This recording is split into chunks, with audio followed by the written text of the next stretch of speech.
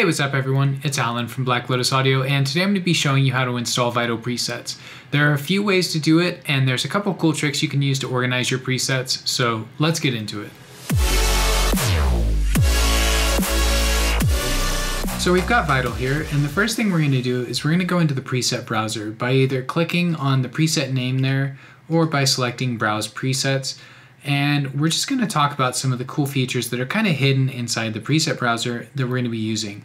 So the first one is this left corner, which is a basically like big overview of all your presets. This is where you'll find all of your folders that you import, any packs, um, all your user presets are down here.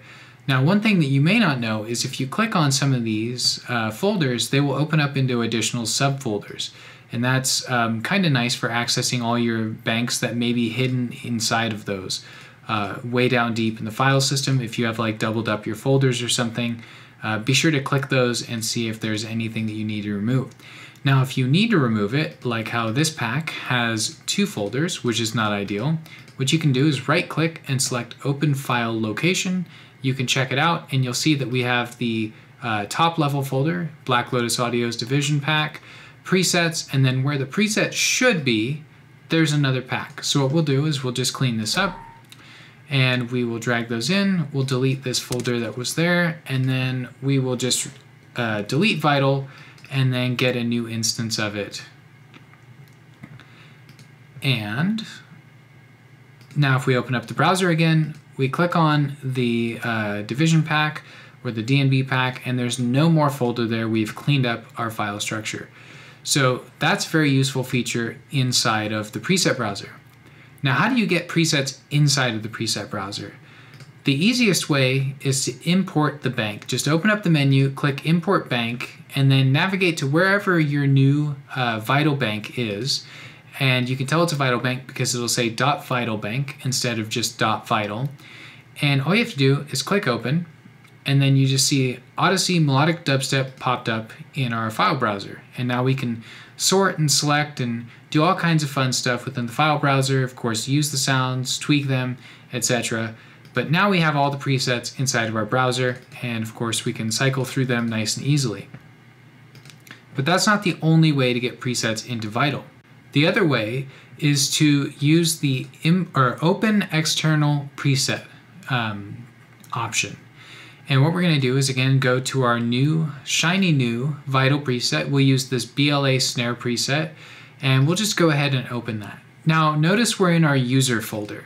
This is where most of the presets you'll be saving will go. I believe actually all of them unless they're somewhere else in your file system.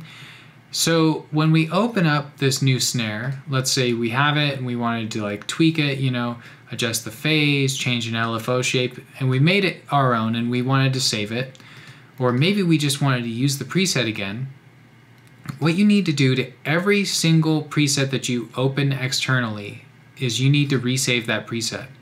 Vital does not save presets automatically when you open when you use the open external preset option.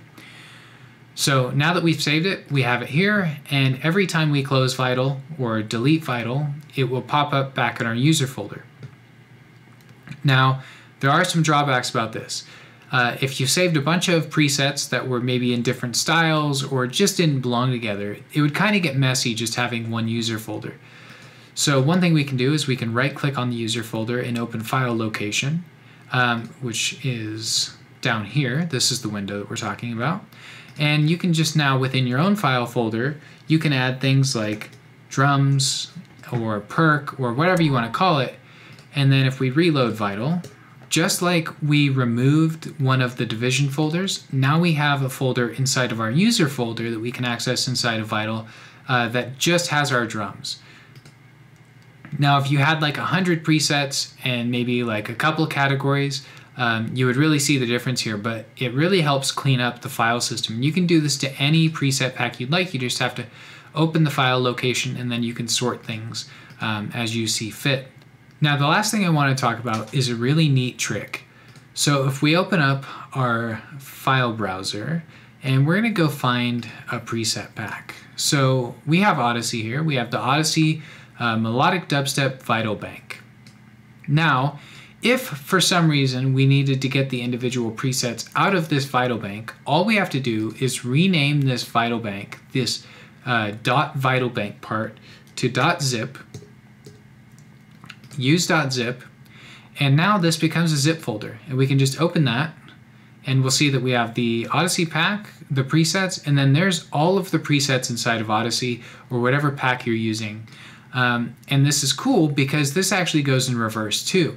So if we delete the zip file, if you have a folder with a bunch of presets in it, just name that folder presets and then put it inside of another folder that actually is the name you want to pop up inside of Vital. Um, let's just call this one maybe, um, we'll just call this dubstep. And then all you have to do is compress or otherwise make this dubstep folder a zip folder. There we go. And that pops up down here, but we'll close that. And then once you have the .zip, all you have to do is just type in vital bank. So make sure you're using .vital bank, and then you'll notice the icon will change, and you'll have this dubstep.vitalbank or whatever you'd like to name it. And now if we go back into Vital, instead of having a big folder of presets um, that somebody has handed you, you can just click once to import the Vital Bank. And there's our Dubstep Vital Bank. And it pops up here in our file browser. Nice and easy.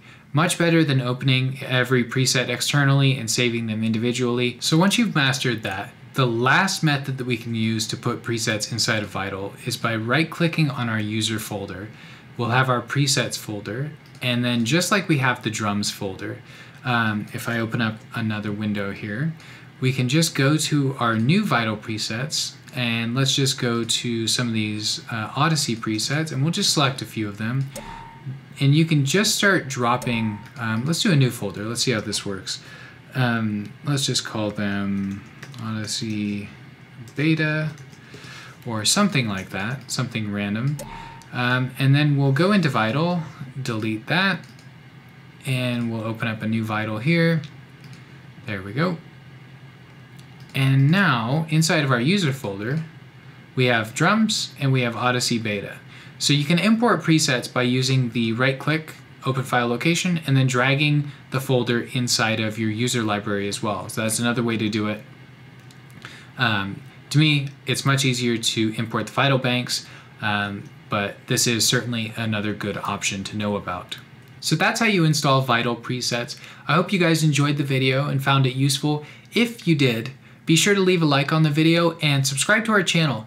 Be sure to hit that bell notification icon so that you get notified every time a new video of ours goes live. And check out our website for some really awesome sounds. I'm Alan from BlackLotusAudio.com and I will see you guys in the next video.